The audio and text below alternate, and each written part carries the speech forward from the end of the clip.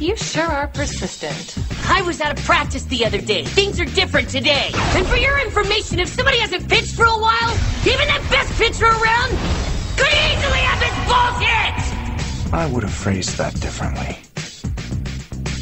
Trust me, I'd turn and walk away now if I were you. Or don't you care that you may not be able to walk yourself to school anymore?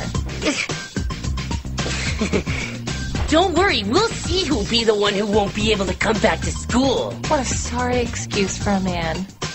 Hey, you there looking stupid. You vouch for me that this was self-defense? Sure, he's the one who's starting it after all. Okay. Now, what do you want me to do to you? How about I turn you into something a little less human? You think you can do that? Never mind all this yammering, just come and fight me already!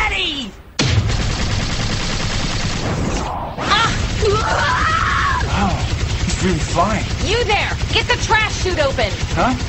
Oh, oh yeah.